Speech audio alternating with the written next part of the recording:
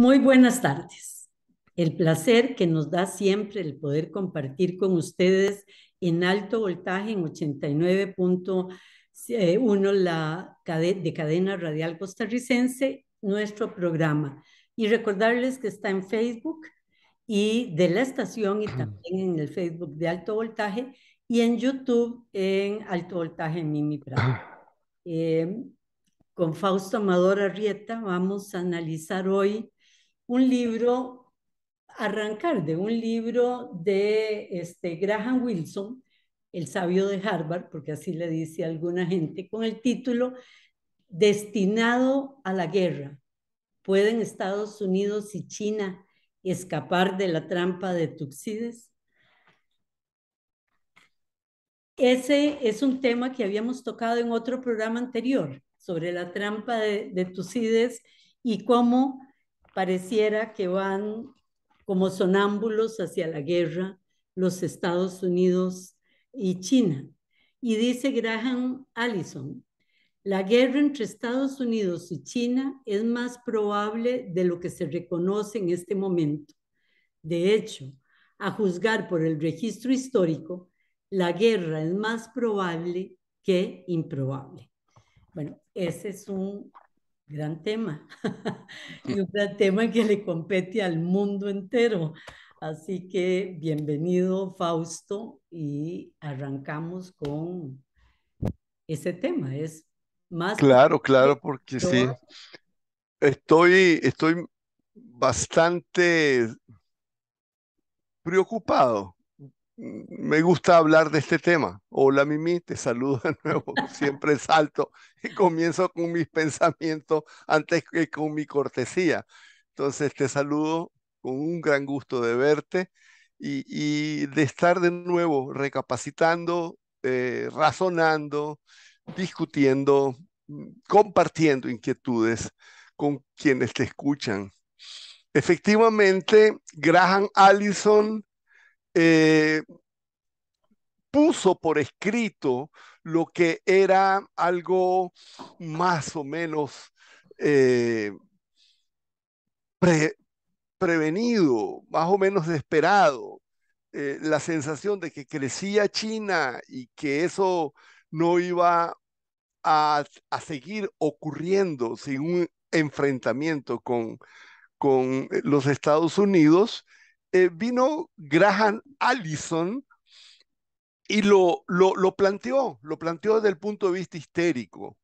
Y lo planteó haciendo una referencia a la famosa guerra del Peloponeso, cuando Esparta, que era la potencia dominante, vio cómo crecía la fuerza de Atenas y en algún momento de ese crecimiento, lo que es tremendamente importante, y Graham Allison no lo plantea de una forma completa, es que la guerra no comenzó directamente entre Esparta y Atenas.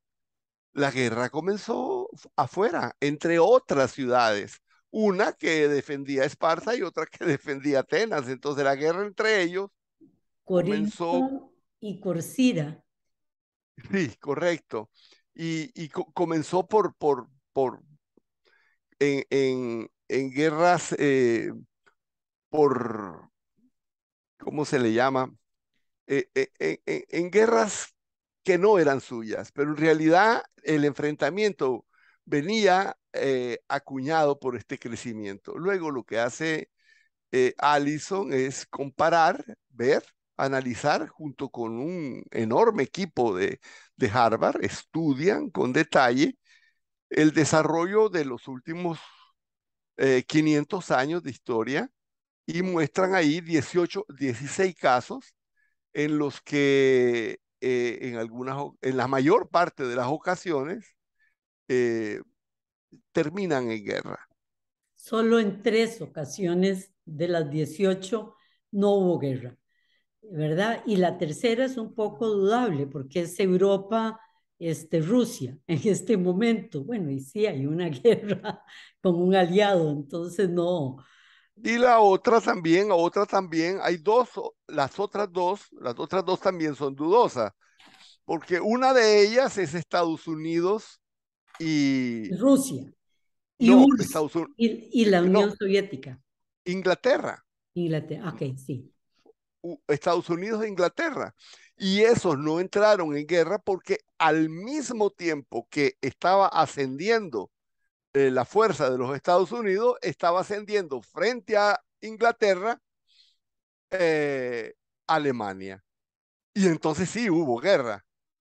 Pero no iba a haber guerra Alemania. entre tres. Fue contra Alemania y terminó interviniendo los Estados Unidos y más bien hace, eh, eh, con- concluyendo eh, la regla de la, de la trampa de Tucídides. Y Eh, A- Alemania, Alemania y Inglaterra se hundieron y más bien se afirmó, se afirmaron los. Estados Unidos. Otra cosa, Sí. también Estados Unidos y la Unión Soviética no entraron en guerra, pero crearon la Guerra Fría que puso en guerra a muchos países en el mundo, ¿verdad? O fueron e- es- esas alianzas de las que hacías referencia y que George Washington, según vi en el libro de, de, de Allison, dice alianzas enredadas que es cuando los dos, el, el, el imperio fuerte y el que está en ascenso, buscan alianzas y en, esas, en la búsqueda de esas alianzas se enredan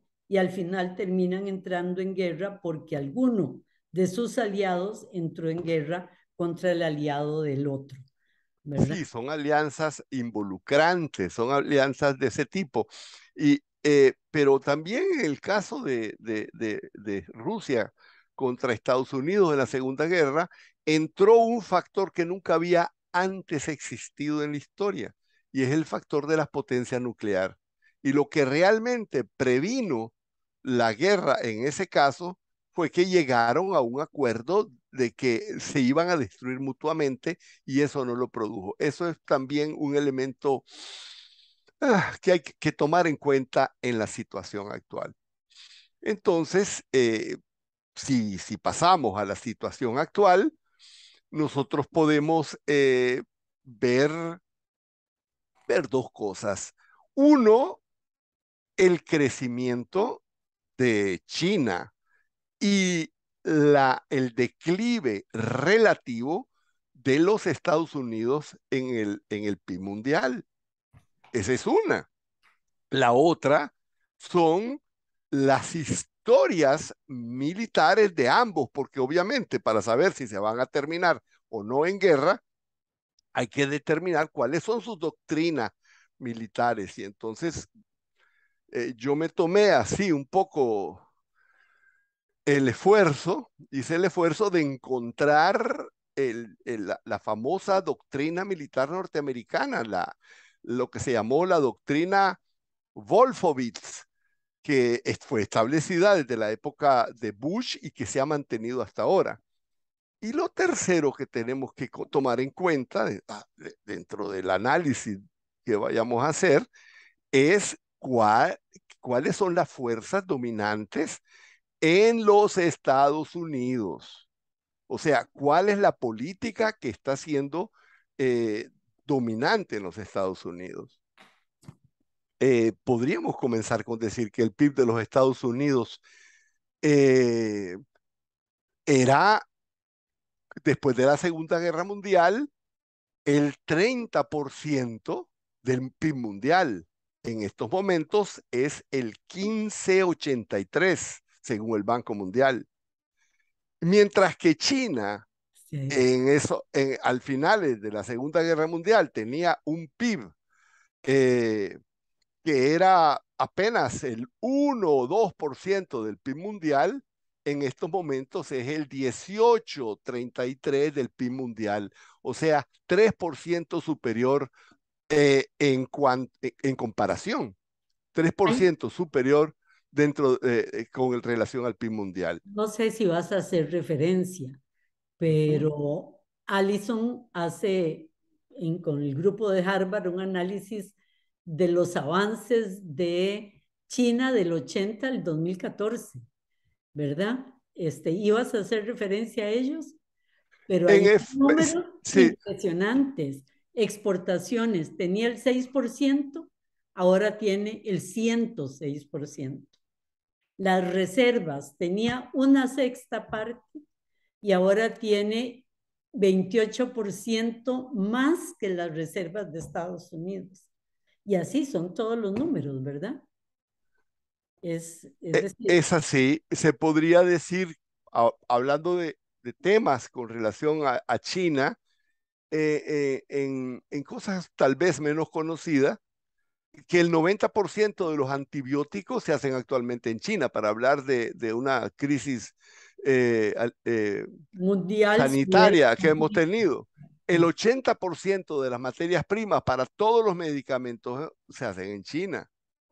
Hace 20 años, para hablar de cosas que normalmente no se conocen, las redes financieras eh, anglosajonas y los grandes bancos eran dominantes a nivel mundial. En estos momentos, los cuatro primeros bancos más importantes del mundo son chinos. Eh, digamos que a comienzos de siglo, prácticamente eran 200 las de las 500 compañías eh, de las 500 compañías más grandes del mundo, 500 eran, de, las 500 más importantes, 200 eran norteamericanas y 100, eh, 150 eran, eran, no, eran, eran europeas. o sea, eh, prácticamente China tenía solo 50 de, la, de las compañías más grandes. En estos momentos, China tiene 119 eh, de las 500 principales empresas y Estados Unidos tiene apenas 121. Y China no solo lidera las manufacturas de baja y, y media complejidad, los productos industriales chinos de alta tecnología, que en 2003 apenas eran el 7% del valor mundial, o sea, en el 2003, en el 2014, que es la fecha en la que, eh, eh, a la que se refiere Allison, porque el, su primer artículo de su análisis está escrito en el 2015, entonces, ya en 2014 eran el 27% los productos industriales chinos. En 2022 son el 35%. Sí, es pero, Ahora, pero veamos una cosa más interesante porque esto sí es importante. Desde 1980, desde 1980, no es poco tiempo, los, salarios reales en los Estados Unidos están estancados, no han crecido. En cambio, en China, entre 2004 y 2022, el valor real de los salarios se cuadriplicó. O sea, no solamente es que, es que ha habido crecimiento, sino que además ha habido una mucho mejor repartición de la riqueza. Entonces, 500 o 600 millones de personas sacados de la pobreza. 800 millones. 800 ahora. 800 millones. Eh, sí, eh, eh, es una cosa impresionante. pero es un salto en la humanidad enorme, ¿verdad? Lo que, lo que se ha logrado ahí. Eh, a mí me interesó mucho que decía lo que decía Li Kuan Yew, de que algunos pensadores dicen, bueno, pero China estaba creciendo al 14, ahora solo está creciendo al 8. Y dice Li Kuan Yew, pero el resto del mundo crece al 3, al 4 como máximo, ¿verdad? Y ellos no han parado. Y, y, y, lo, y el crecimiento de Asia, de Europa y de Estados Unidos está acá y todavía la línea de crecimiento de China es enorme en comparación con el resto del mundo. O sea que no se va a detener. Eh, eh, cuando hablamos de Li, tenemos que decir quién es él, ¿verdad? Él es un sabio, es un dictador. Es el, eh, es, el, dictador de Singapur, pero es el que llevó a Singapur, que en 1960 estaba igual que Cuba, lo llevó a ser eh, una potencia. Eh, uno de los, uno, exactamente. Me quitaste la palabra de, zoológica que iba a utilizar. Entonces, obviamente, eh, eso nos coloca en una situación en que tenemos que eh, decir qué es lo que determina que ese crecimiento de China no vaya a, a producir o a tener como resultado un enfrentamiento. Nosotros tenemos que hablar aquí de algo muy importante y es que en los Estados Unidos prácticamente desde los últimos 40 años, la doctrina política de relaciones exteriores de, de, Estados Unidos está dirigida por un grupo, por un, por digamos una doctrina, un grupo de personas y doctrinas que se llaman los neoconservadores, le dicen los neocons, los neocons. Está, entre ellos, ¿verdad? Los, los grandes, Leo Strauss, Donald Kagan, eh, eh, y luego el famoso Paul Wolfowitz, que fue el que hizo, terminó haciendo la doctrina Wolfowitz. ¿Cuál es la doctrina Wolfowitz? La busqué y encontré una frase que es realmente impresionante. Es la doctrina del Pentágono. Paul Wolfowitz fue encargado de establecer la doctrina estratégica militar de los Estados Unidos. Dice él, textual, Dame que lo busque, aquí está. Estados Unidos debe mostrar el liderazgo necesario para establecer un orden tal que tenga la capacidad de convencer a sus potenciales competidores de que no es necesario que aspiren a un mayor protagonismo o adopten una postura más agresiva para proteger sus intereses. Y dice, en los ámbitos no relacionados con la defensa, debemos tener suficientemente en cuenta a los intereses de las naciones, otras naciones industriales, para darnos cuenta de su crecimiento y desanimarlas a que desafíen nuestro liderazgo o traten de alterar el orden político o económico establecido. Y para ello debemos mantener los mecanismos que sean necesarios para disuadir a los posibles competidores, escúchame a mí, de aspirar siquiera a un papel regional o mundial más amplio. Es oficial, es textual, es la doctrina que cualquiera puede buscar en internet, se llama la doctrina Wolfowitz. Fíjate que, no, que me trajo inmediatamente a la memoria todo el tiempo anterior a Xi Jinping, ¿verdad? Con Deng Xiaoping, que China lo que decía, posiblemente por conocer esto, hay que esconderse y esperar. Así llamaban a su posición, esconderse y esperar. ¿Verdad? Y Así estuvieron frente a los Estados Unidos y frente a Europa. Pero aparece Xi Jinping creando mercado interno y ya la nueva política es respeto, ¿verdad? Respeto. Vamos a entenderlo acá, Mimi, que no fue simplemente un acto voluntarista de parte de Xi Jinping. Eh, cuando en 2013, él, comienza en 2012, cuando en 2013 él lanza la gran iniciativa de la Ruta de la Seda, que va a ser eh, su iniciativa más paradigmática y pareciera que es el momento en, lo que, en, que abandona el, el, esconder, el, guardarse, eh, eh, el esperar. ¿Y es qué es lo que ocurrió, Meme? ¿Te puedo leer algo de, textual de Xi Jinping para lo que vas a decir? Dice, el mundo va a ser multipolar cuando lanza lo de la, lo de la ruta de la seda. China rejuvenecida construirá unas nuevas relaciones internacionales. Es decir, si lo que acabas de decir de una política frente a lo que está diciendo Xi Jinping, son dos mundos que se van a encontrar, ¿verdad? De frente. Eh, eh, sin embargo, como te estaba diciendo, eh, no fue una, una, una, una simple decisión ideal de un discurso que hace o que lanza la gran iniciativa de la, de la ruta de la seda.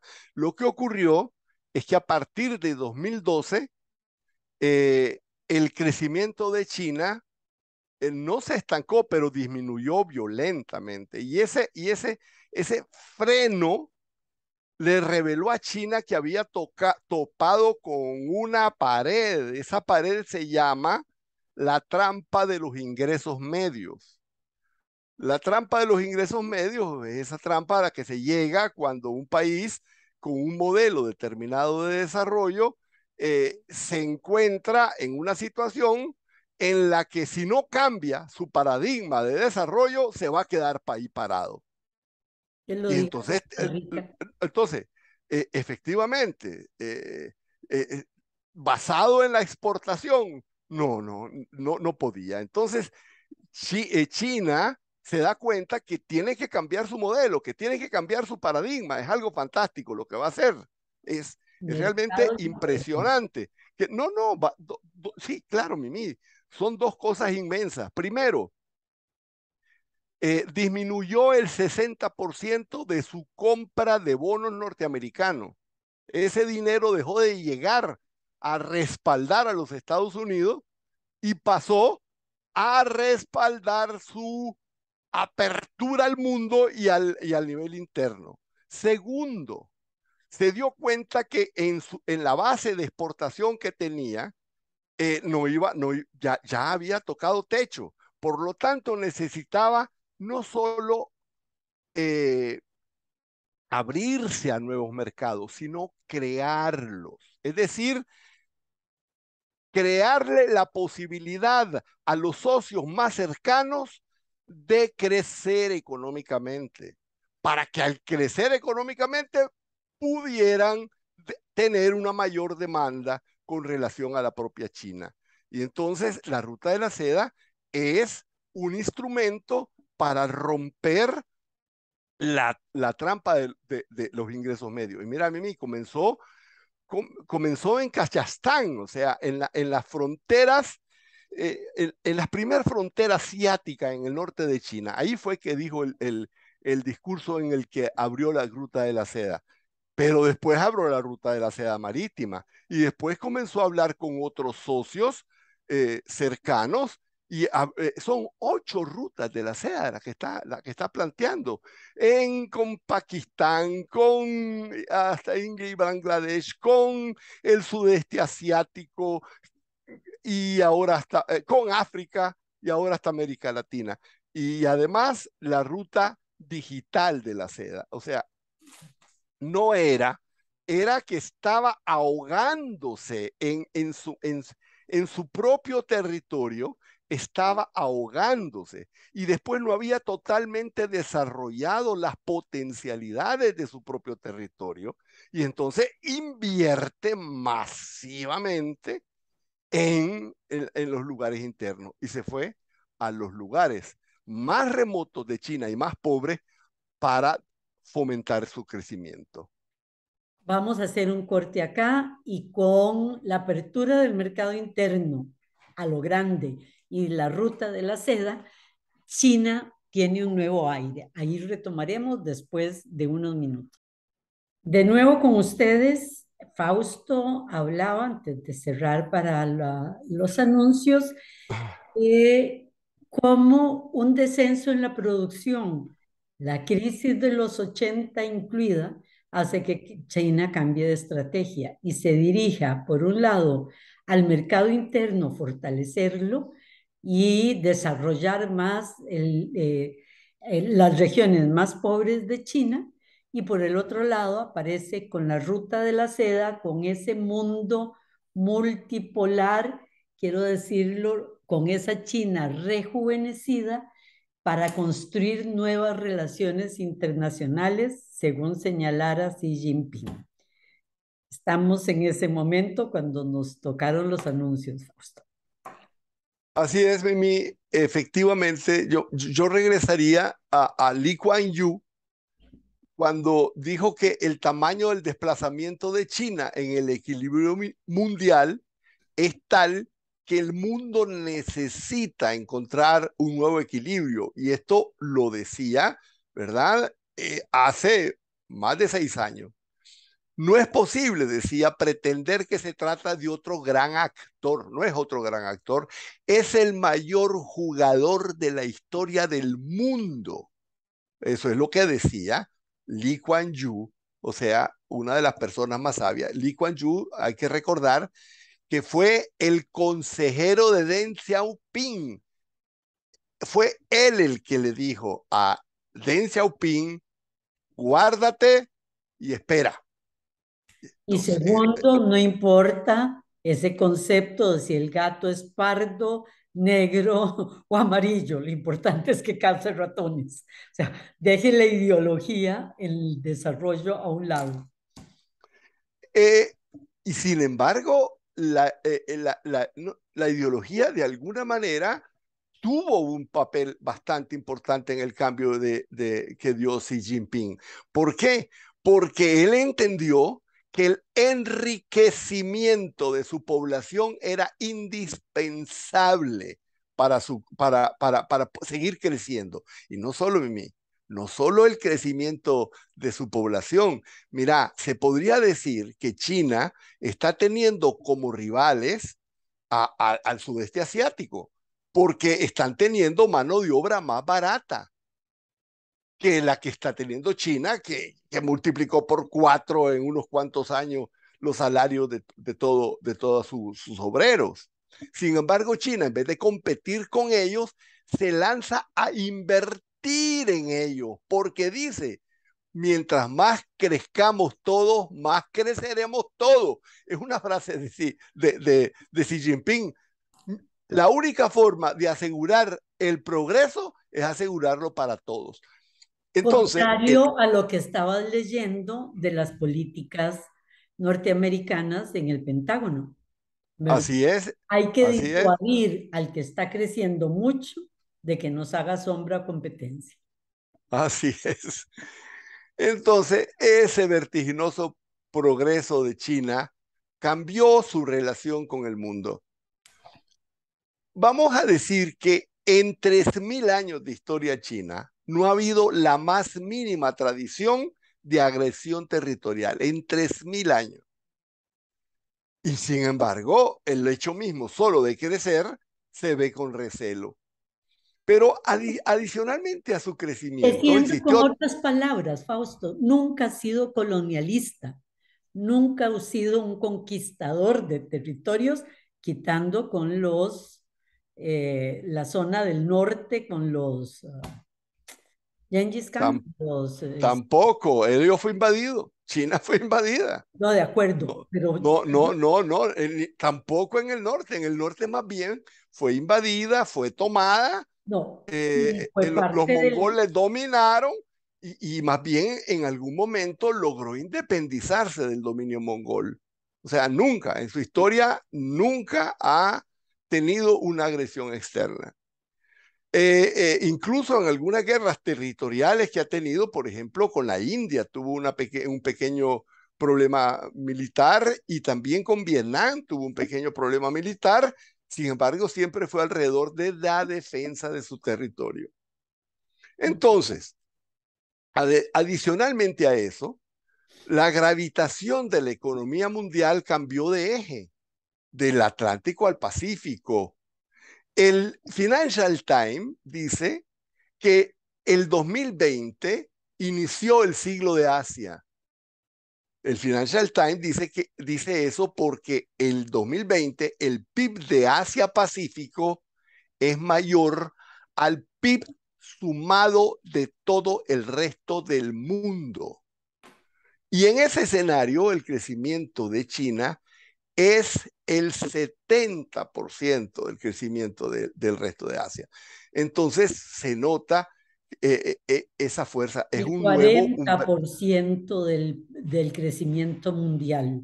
Es, es, bastante, bastante fuerte. Eh, en, eh, eh, entonces, en esta situación nosotros debemos de decir eh, cómo reaccionan los Estados Unidos, qué pasa con esto, qué pasa, qué pasa con, con, con Biden. mira, Mimi, vamos a hablar aquí de cosas muy, muy dolorosas. Biden puso de, de secretario de Estado de los Estados Unidos nada menos que a uno de los íntimamente relacionados de, de, los dirigentes, de los, de los ideadores, de los ideólogos, de los New Cons.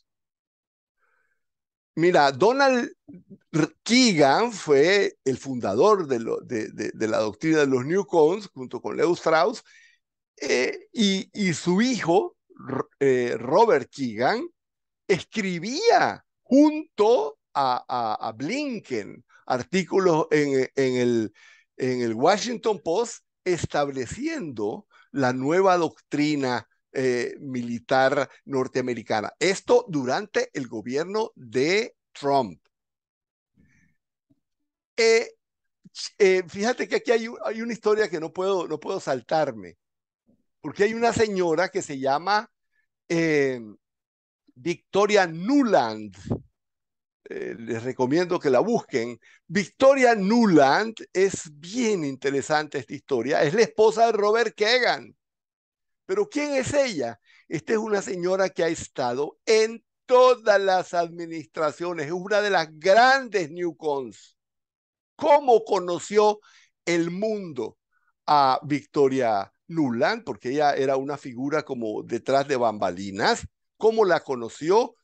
Por su papel en la insurrección del Maidán. Ella fue directamente, se, se estableció directamente una relación con el Maidán, eh, financiamiento masivo y apoyo. ¿Y cómo se conoció esta señora?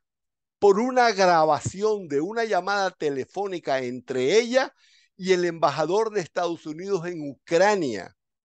En esa conversación, Nulan le dijo a Payat, mira, tenemos que poner a, fulano de tal. Ese sería un buen presidente, un buen primer ministro de Ucrania.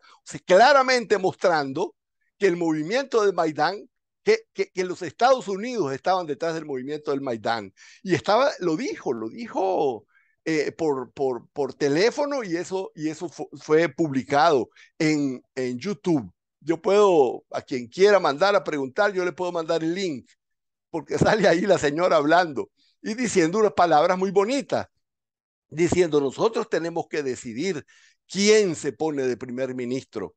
Y el, y el, y el embajador le dice, pero eso va a molestar a la, a la, a las, a, a la, a la, a la Unión Europea. Y entonces ella dijo una frase genial, fantástica, muy educadita ella. Dijo, fuck de, de, UA. O sea, que se joda la Unión Europea. Esa señora, Mimi, está de subsecretaria de Estado, es la tercera al mando en la política exterior de los Estados Unidos del señor presidente Biden. Eso nos enseña que el eh, presidente Biden prácticamente le entregó la política exterior a los Newcons.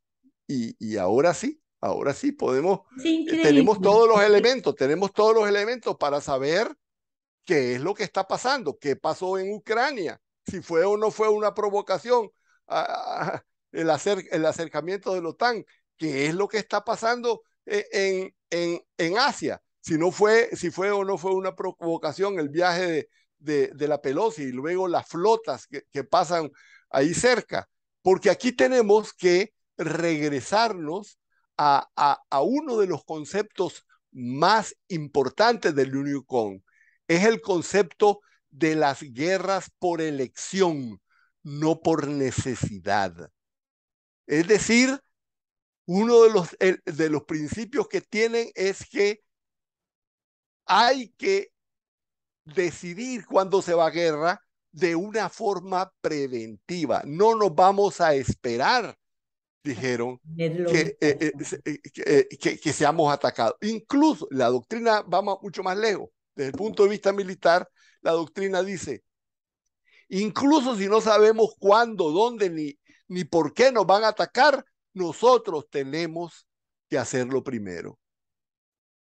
O sea, e, es una cosa eh, realmente, este es, este es el tipo de gente que está dirigiendo la política de los Estados Unidos. Y ahí Entonces, estamos, Fausto, a dos cosas. Una, vamos como sonámbulos, como decía Allison, hasta la guerra. U otra, hay opciones y salidas de no entrar a la guerra. Y dentro de esto, esas posiciones tan distintas a la hora de negociar entre estos dos monstruos grandes.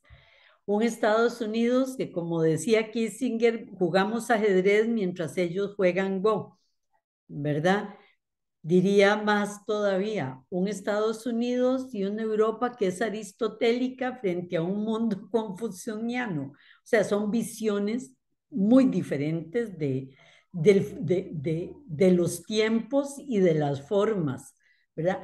Venís desde un imperio que se ha sentido que es unipolar durante décadas, sintió que era dueño del mundo y de la fuerza militar unipolar y que daba la Pax Americana al mundo, y el otro que viene en esa misma época de un siglo de humillaciones y llamado a crecer, como decía Lee Kuan Yew, muy bien, porque es el gran jugador de la historia de siempre, ¿verdad? La gran China. Esa confrontación es evitable o inevitable? Mimi, yo pienso, quiero ser positivo, no solo que es evitable, yo pienso que va a ser evitada. Y te digo, no depende de los Estados Unidos, depende de China. Y China tiene una estrategia para evitar esa confrontación. Claro, Ahora viene el problema de Atenas y Esparta, algo que no dice. Eh, de las eh, eh, alianzas engañosas, además. De las no, no, de, de, de, situaciones en las que no podés retirarte. Y en el caso de China se llama Taiwán, pero no entremos todavía allí. Digamos que el, el crecimiento de Asia, el vuelco asiático, es el tercer gran punto de inflexión en los últimos 500 años de historia. la primera inflexión de los últimos 500 años fue el auge de Europa Occidental en el siglo XV, que se consolidó en el siglo XIX con la revolución industrial. Comenzó, tardó eh, cuatro siglos. El segundo fue el ascenso de los Estados Unidos desde comienzos del siglo XX hasta ser la potencia hegemónica mundial. Esto duró 100 eh, años. Un siglo.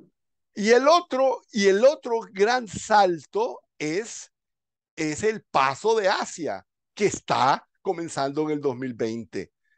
Es decir, en esa situación, China entiende, comprende que para que, los Estados Unidos va a tratar de involucrarla en una guerra para que la guerra eh, paralice su, crecimiento. Y entonces, es una, eh, eh, una guerra es casi impensable. Están las mismas limitaciones que había con la Unión Soviética, pero quiere envolverla en, en una guerra que la desgaste, en una guerra local que la desgaste. Entonces, y además una guerra económica con, dividiendo el mundo ¿verdad? Con una nueva cortina.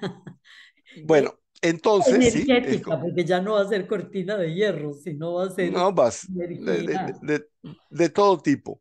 Entonces, ¿qué es lo que ocurre? Que China entiende, y esta es la estrategia, y lo dicen casi con esas palabras, hacer un gran tejido de China con el mundo que los hilos de China se entremezclen tantos con el tejido del mundo que quien quiera romper los hilos de China rompa el tejido del mundo. Esa es la estrategia.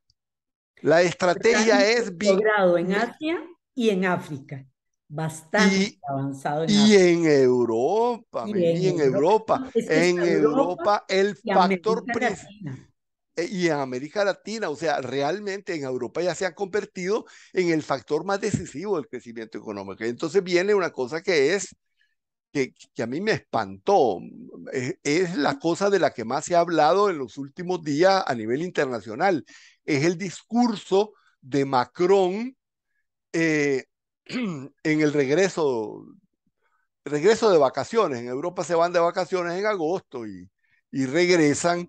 Entonces hizo una, en el regreso al funcionamiento del gobierno, cuando se reunió el gabinete, los recibió con un discurso terrible. Dijo, tenemos que entender que, terminó, se acabó la abundancia. Se acabó la abundancia. Que se acabó la Eso es, eso es tremendo, porque lo que está diciendo es un acto de resignación a que se acabó el crecimiento, se acabó la abundancia, se acabó el mundo al que estamos acostumbrados. Acabó la globalización tal como la conocíamos. Todo eso lo está diciendo con esa con esas, con esas palabras, es tremenda la frase. Y dice, y se acabó que, que, estén pretendiendo más y además dice, y se acabó eso de prometerle más a la gente, no vamos a poder cumplir ninguna de las promesas que hagamos. Eh, eh, eh, es una cosa muy difícil. Sin embargo, eso no significa que ya terminó el juego. ¿Por qué? Porque los pueblos no han terminado.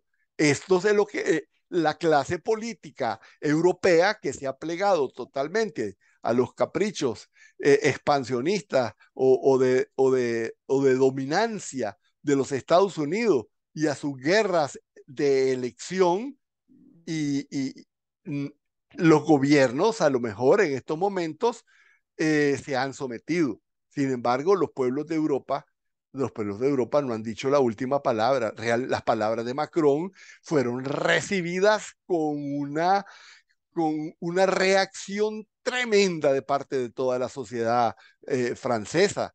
¿Por qué nos vamos a resignar a que, a que esto se termine por, un, por este tipo de, de, Cerremos la OTAN y no cerremos este, el comercio, por ejemplo. Claro.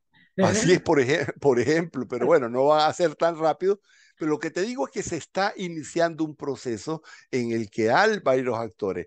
Y si nosotros creemos que puede existir alguna posibilidad de que, de que siga, que el crecimiento siga, que la abundancia no termine y que los pueblos no sea un capricho que sigan pidiendo y exigiendo mejores condiciones de vida, si eso, porque eso es lo que les dice Macron, les dice, déjense de pretensiones, dice, se acabaron las pretensiones, no pidan más. Que nadie les va a cumplir, no soy yo. Que nadie le va a cumplir. Nadie les va a cumplir, se acabó la abundancia. Entonces, el, el, punto es que los pueblos siguen con sus exigencias y no son exigencias caprichosas, es la justicia. Eh, eh, eh, la humanidad ha avanzado mucho, la tecnología ha avanzado mucho. estamos en, en pose. estamos en capacidades, Mimi, estamos la en capacidad. La desigualdad avanzó mucho y los pueblos claro, por, por supuesto. Te cogí. O sea que no puede ser que 10 millonarios tengan la concentración de riqueza que tienen, ¿verdad? Y que se acabó la abundancia. Es decir, es, eh, eh, eh, es un, un periodo como pre-revolución francesa, ¿verdad? O sea, el, el bueno, establecido no da. El, el, el, tema en este caso, el tema en este caso, sí, en este caso, Mimi, el tema que yo estaba tratando de, expresar es que no es posible que con el dominio que se tiene de la tecnología, con los avances tremendos que se tienen en la producción de riqueza, se le diga a los pueblos, se acabó la abundancia. Cuando más posibilidades existen de crear abundancia, no es, el, no es el momento para decir que se acabó la abundancia. Entonces la abundancia ya no está en la tecnología, la abundancia está en la política. Y la abundancia está en que también Francia entiende, entienda como lo entendió perfectamente China, que el crecimiento es posible si aumentan las capacidades de, eh, las capacidades de, económicas de su población. Eh, y, esa, y, curiosamente, antes de irse a vacación, la última ley que firmó Macron o que estaba por firmar, creo que la firmó, fue el aumento de la capacidad de compra de los franceses, el aumento de la capacidad adquisitiva. Entonces, e, es una cosa contradictoria. La última ley que hace es aumentar la capacidad adquisitiva y cuando regresa dice se acabó la abundancia. Es, yo creo, Macron es muy inteligente. Macron sabía la reacción que iba a ocurrir. Y Macron además es bastante rebelde a, que se le imponga eh, una, unas condiciones que frenen el desarrollo de Francia. Entonces, eh, estamos en medio del juego, Mimi. Eh, nos falta muy poco para que terminemos, pero estamos en medio del juego. Macron está jugando a, ¿quieren abundancia? Levántense, exíjanla, oblíguennos, ¿verdad? Este, es lo suficientemente bueno. Así es, y, lo están haciendo. Como para eso. Ahora, antes de cerrar, porque nos quedan, nos quedan tres minutos. Hay opciones, incluso para que China y Estados Unidos trabajen juntos y evadan la trampa de Tucídides, ¿verdad? Este, Graham hablaba de, ahí está el cambio climático. Esa es una tarea que el mundo debe hacer en conjunto o está la lucha contra el terrorismo para las grandes potencias, que es vital, y algunas otras, ¿verdad? Eh, sin embargo, uno siente que China está dispuesta a jugar eso y un nuevo orden internacional y que Estados Unidos no, ¿verdad? Es mucho más conservador, reaccionario e incluso hoy leí una encuesta que decía que el 60% de los norteamericanos, de, los republicanos, consideran que es inevitable una guerra civil en Estados Unidos. No digo que sea cierto, pero que los republicanos le están pensando en una inmensa mayoría. Un minuto, me están señalando, Fausto. Sí, eh, te voy a decir muy rápidamente en ese minuto que cuando escribió Allison esto mm, en realidad eh, fue eh, en 2015 y ha pasado como un siglo, desde 2015 al 2022. Demasiadas cosas han pasado.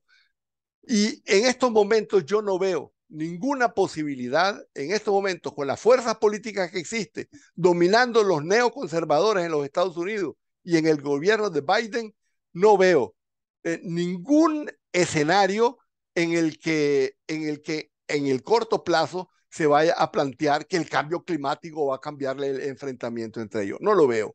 Pero además, creo que en el corto plazo más bien vamos a ver más sombras antes de ver la luz, porque eh, están tratando de decirle a China que se enfrente, que trate de tomar militarmente eh, a Taiwán. Y están empujando a Taiwán a que declare su independencia. Eso es muy peligroso y entonces, eh, en estos momentos, más bien, están, estamos en el momento de la provocación.